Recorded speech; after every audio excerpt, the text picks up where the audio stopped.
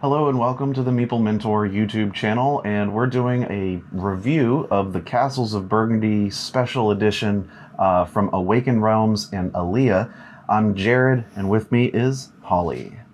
So, we just had a chance to play our latest Kickstarter that we received. That is the newest edition of Castles of Burgundy, uh, which has been out for 20 years maybe, and it is still a fantastic game experience. But how much does the new art and new player boards and miniatures and uh, acrylic hex tiles add to the game?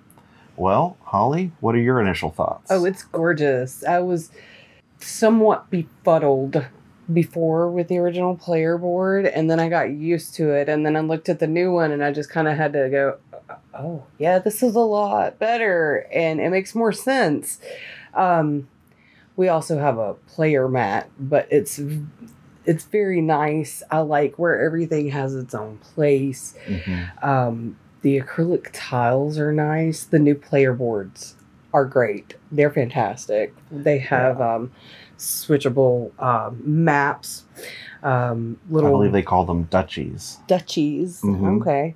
They have these uh, plastic trays to keep your tiles in place on, Mhm. and it fits inside your board. And it's really nice. They have sections for tokens. I mean, so the number of duchies included in this game, Oh my gosh, it's ridiculous. like hundreds, hundreds. I mean, it's crazy. They even include larger mats for uh, team games and a, a solo game. And pretty much every expansion that has come out for Castles of Burgundy is going to be in this deluxe version um, release. Um, that includes the inns, which are like these new white tiles that um, you can purchase and you know from the black market, but there's always one added, and it just takes up space and wherever you want it to be.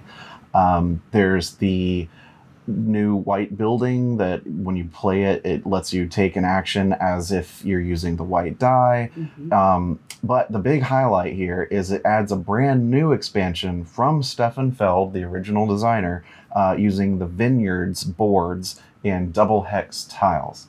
I will say, we have not played with that expansion yet. So I can only comment on the quality of the components, but it looks fantastic Mhm. and I really want to add it in our next game.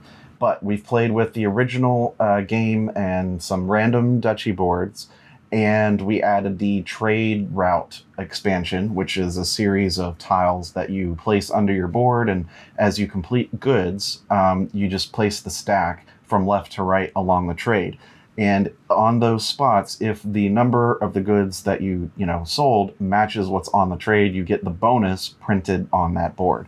So it gives you a little bit of extra ways to combo your turn, and maybe even more incentive to want to sell those goods. Uh, one comment that Holly made was in our first uh, plays of the, uh, you know, for her first plays of Castles of Burgundy in the original edition, selling goods was kind of like, why am I doing this? Like, what's the real It befuddled me. Like I just, I still kind of feel like that. I'm not gonna lie. Yes, it adds some really cool things where if you roll it and if you match the number, you can get that extra action or tile or whatever. Mhm. But I really feel like I could either focus on this part of the game Mhm. right in front of me, or I could focus on the trade route. In the end, it did work in my benefit uh, with the monastery tiles that I got that added a lot of points to the goods I had sold. But it was really a struggle for me to get them to mesh together. Him, on the other hand, I mean, probably half of the good stacks that I sold end up matching and giving me some kind of benefit. And a lot of those benefits ended up being money. So I ended up with like 11 bucks at the end of the game, which is a lot for this game, Mm. uh, which is notoriously hard to get, you know, silverlings. Um, I will say the components, as far as the metal coins, they feel and look amazing. They're a bit larger than the original game. Mhm. Um, I think the board is a bit larger. They allow room for the whole victory point track to completely make a loop without doing this weird zigzag like it did in the original. To me, it really looks like someone who genuinely loved the game went in and made it more accessible as far as aesthetics go. hmm It's more functional The board looks nice. You know, it uh, it just easier. It's easier on the eyes to see where everything goes, and in the player boards themselves are easier to understand. Mhm. Um, part of that reason is they took out a lot of the um, iconography found on the original boards and puts it to a help sheet, Mhm. which is genius. I mean, now you've just got a reference card like every other game now of a list of all the tiles that you're going to need to see and see what they do. Uh, instead of having to go, wow, that's a lot of space on my player board that just explains the buildings. You know, yes, that's a big part of the game, but right now it's just kind of extra. And so they put it on the reference guide and it works like a charm. Um, and then the back of that reference guide has essentially all the monastery tiles. So all those yellow, you know, scoring tiles or benefit tiles, Mhm. all described and numbered like normal, but just having it as a nice, a nice reference for every player to look at really streamlines the game quite a bit. It's a, it's a great reference sheet. I really like the reference sheet. Yep.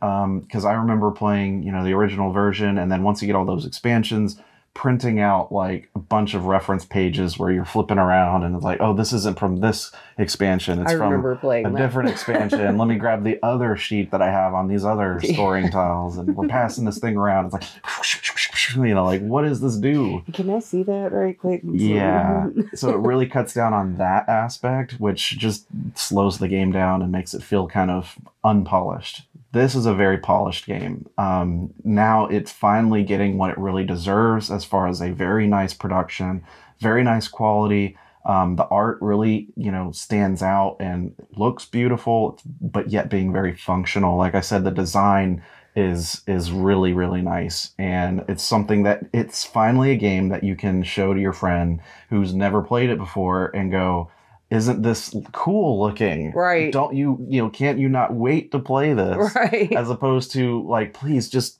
hold i Give know it it, doesn't look good but please let's play it because it's going to be fun. You don't have to do that anymore. So that's a huge benefit.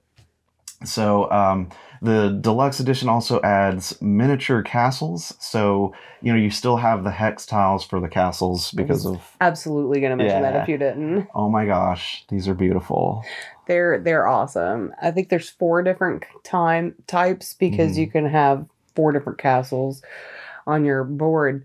But yeah, they're just they're gorgeous. Yeah, and they're they all have different among the four different um, molds, uh, different uh, heights of Mhm. the castle and like different spires and, and points and you know how wide it is and everything like how the castle's built. It's just it looks great. So once you actually build those castles in your board, you just toss the tile and put a miniature there, and it just makes it look that much nicer. It really does. I mean, now it's got table presence. I Yeah. mean, now it actually does. Believe it or not, a Castles of Burgundy game that has table presence. I can't believe I'm saying that. Um, but wow, I'm super impressed with the production. Awaken Realms did a great job. Um, and then working with Stefan Feld to make sure that everything was polished and we even have new content as far as the vineyards goes. Um, and that board itself, everyone's getting a separate uh, vineyard board that's like four layers, kind of tiered down. That you know, new vineyard tiles come out and lay on, which are like a double hex tile.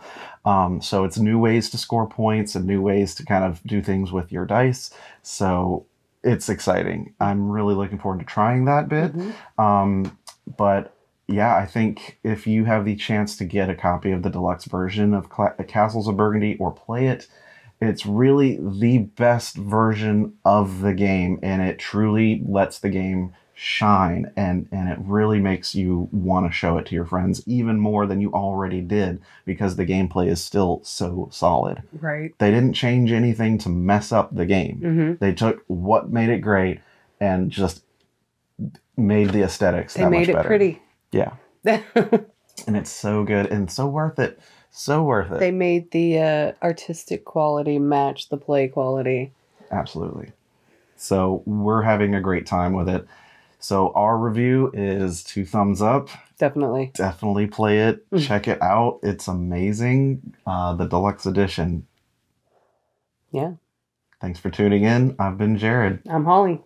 Bye bye. Bye.